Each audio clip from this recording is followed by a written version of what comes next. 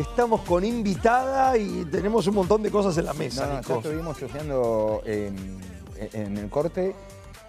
No sé cómo, de- decirte lo, lo interesado que estoy en ver esto, porque como lo adelantábamos en, en la venta del programa, al principio del programa, eh, pensamiento computacional y robótica, uno hace unos años atrás se imaginaba, bueno, tenés que ir a, a- a la Universidad Tecnológica Nacional o a la Facultad de Ingeniería o, o algo por el estilo, y que de golpe veas, eh, chicos, miren, eh, vamos a hablar de eh, pensamiento computacional y robótica en el nivel inicial, uno se queda en nivel inicial eh, 3, 4, 5 años. ¿Qué onda?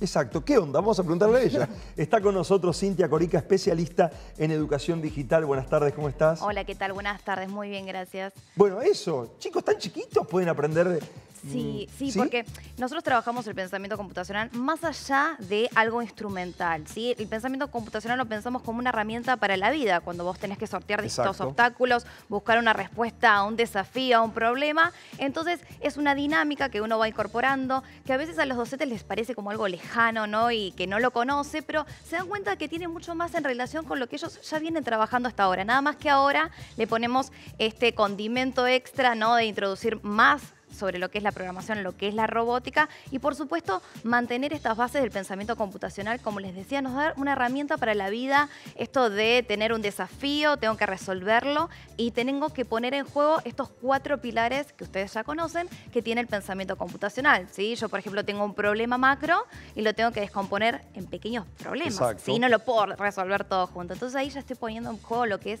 la descomposición. Y después digo, bueno, ¿qué me empiezo a resolver primero? Voy a buscar patrones de referencia. Quizás yo algo parecido ya resolví anteriormente y entonces lo voy resolviendo ese primero y capaz dejo los más complicados o los que no conozco, ¿no? Para el final. Y después, bueno, ya tengo este problema en concreto que lo voy a ir resolviendo, tengo que abstraer aquellos elementos que no, no, no me suman a la resolución. Y después, bueno, lo que hacemos todos, algoritmos, que ustedes me van a decir quizás, ¿algoritmos? Yo hago algoritmos. Bueno, les digo que desde que se levantan en la mañana están haciendo algoritmos. Cuando se cepillan los dientes, cuando, por ejemplo, se atan los cordones. Nada más que uno ya tiene como automatizados Claro. esta serie de pasos, ¿no? Eh, así que fíjense que en el nivel inicial todo lo que son las actividades cotidianas, qué pasa primero, qué pasa después, siempre está en juego.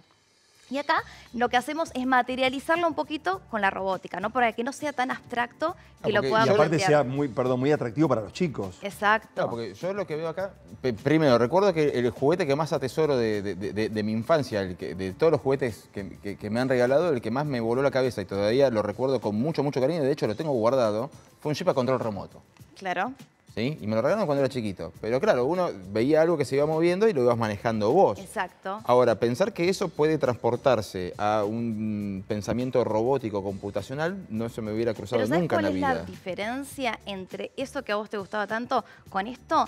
En que vos ejecutabas algo que alguien más programó. En cambio Sí. acá, el objetivo en el nivel inicial es poner a los niños y a las niñas como protagonistas, como hacedores del aprendizaje. O sea- Ellos se ponen acá en práctica. Que esto que parece un juguete, Sí. no solamente es un juguete, sino que es un robot.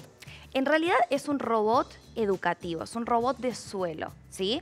Lo llamamos de suelo porque justamente lo utilizamos en el piso. Y el objetivo es esto, que ellos van a ir armando, ¿sí? Con distintas instrucciones, sus algoritmos, y lo van a ir ejecutando. Pero esto que te digo, cuando nosotros trabajamos desde el nivel inicial, siempre es esto, poner en juego la acción y eh, que ellos aprendan a través de lo que es el error también, que a veces el error parece como un estigma, como algo no, que lo queremos ir evitando y tenemos que esto, ir probando, ir viendo qué resulta, qué tengo que cambiar para la próxima vez.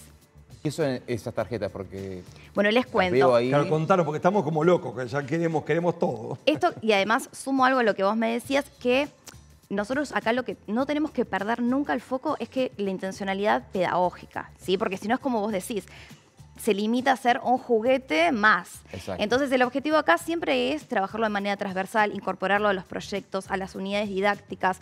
Por ejemplo, miren, yo hace unos años atrás lo utilicé con mis alumnos, por ejemplo, haciendo el recorrido, el cruce de los Andes, lo intervenimos, hicimos que, por ejemplo, era San Martín que lo iba cruzando. Bueno, y uno va poniendo en juego. Desde el nivel inicial siempre lo ponemos primero por el cuerpo, a través de las acciones kinestésicas, ¿no? Vamos haciendo como si fuésemos, fuésemos autómatas, como si fuésemos un robot, y después poco a poco lo vamos a llevar acá.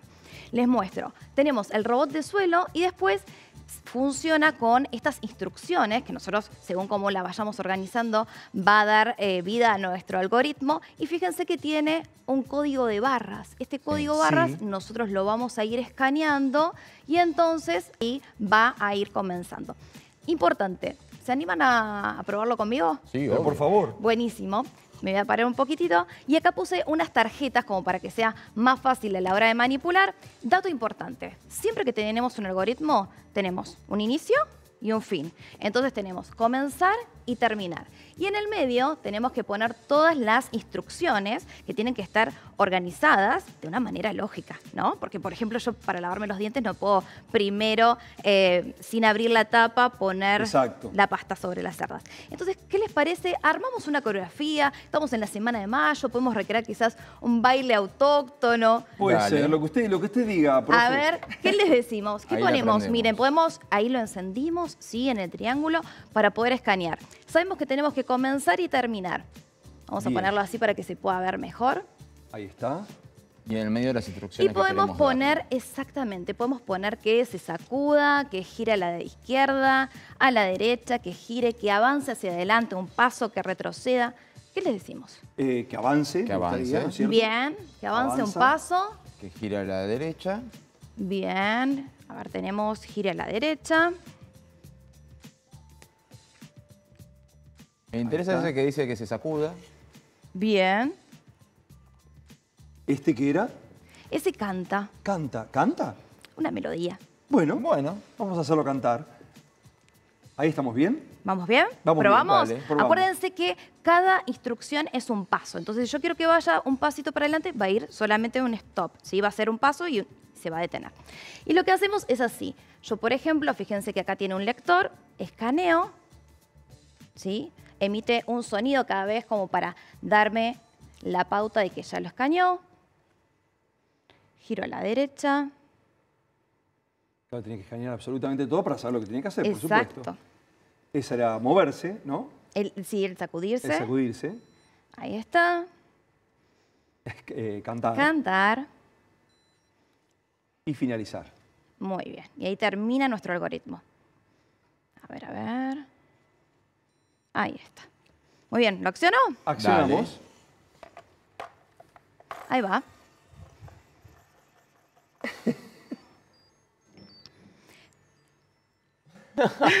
Ahí tocó la melodía. Impresionante. Después, Impresionante. esto por supuesto lo podemos ir secuenciando, Sí, ampliando. y complejizando, por supuesto, es una, una muestra nada más de lo que O sea- puede, hacer y cómo, lo que decías vos, cómo podés incorporar eh, conocimiento con, con el juego, porque no se queda solamente en el juego de que el robot se Claro, mueve. porque de, de golpe Exacto. esto me, me- me hace recordar algo muy moderno que era el, el- el sistema logo, que era el de la Exacto. tortuguita, que le dabas órdenes. Sí, de Papert. Pero yo estaba en quinto grado, sexto grado, no en Bueno, nivel inicial. él fue el pionero.